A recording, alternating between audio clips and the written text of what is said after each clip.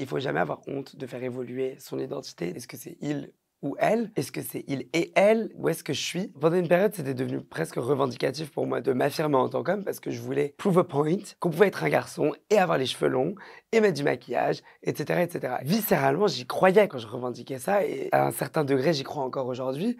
Mais je me rendais pas compte que tellement je criais fort que dans ma nature profonde, j'étais un homme, je laissais pas d'ouverture dans mon cœur, mon âme, mon esprit à la question euh, de mon genre, en fait, que j'avais du coup jamais vraiment exploré. J'ai construit beaucoup de choses ces dernières années. J'ai créé la mythologie de Bilal Hassani. Je pense que j'ai dû faire genre 400 télé en 2019, un truc comme ça. J'étais vraiment partout tout le temps. Et quand je me suis retrouvé euh, seul après euh, cette période de beaucoup, on va dire, on, se rend compte de tout ce qu'on a construit, donc on est très content. Et on se permet maintenant de déconstruire. C'est le premier truc que j'ai fait déconstruire tout, déshabiller Bilal Hassani, le personnage, le regarder, voir où ça en est. Du coup, tout de suite, il y a eu la question du genre qui est venue euh, se poser. En fait, j'avais pas ouvert cette porte parce que j'avais l'impression que j'avais déjà ouverte et que j'avais déjà répondu à ma question. Je savais foncièrement que j'étais pas bah, une personne transgenre. Il y a la question de la dysphorie de, genre qui, est très, très, très, très, très intense et que j'ai pas vécu euh, de, de to that extent, en tout cas. Mais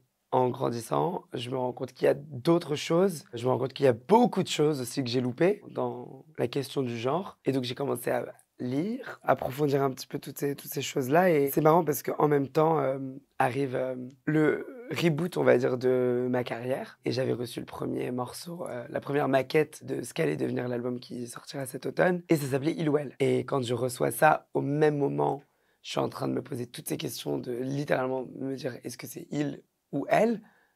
Est-ce que c'est il et elle?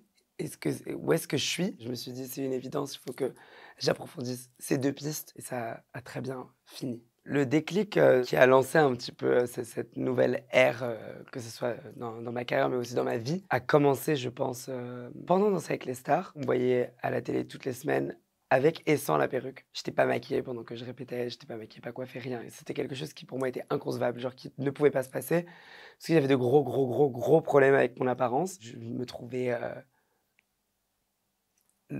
monstrueux. Quand des moments comme ça se passent, ça réouvre tout.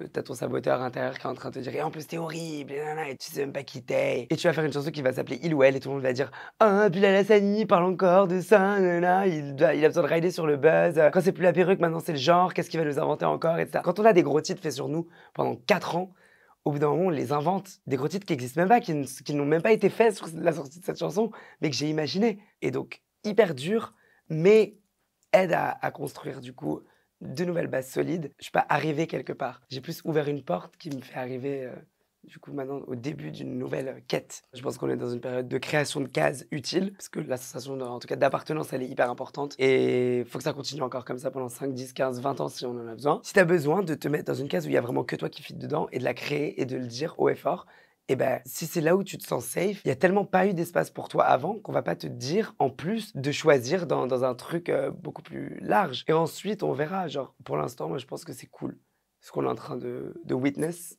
dans notre jeune génération. Pour les personnes qui regardent cette vidéo et qui se sentent concernées par euh, mon message et mon histoire, j'ai envie de vous dire prenez le temps qu'il faut pour arriver à vos réponses. Des fois, vous allez avoir des bouts de réponses, vous allez avoir l'impression que vous êtes arrivé à la fin, et après, la, question va revenir, et donc du coup, il faudra réouvrir un petit peu vos chakras et vous dire genre, ok, bon, bah, peut-être que je suis pas finalement arrivé à une réponse définitive. Il faut jamais avoir honte de faire évoluer son identité, de voir évoluer son identité. Tout est ok quand ça prend du temps.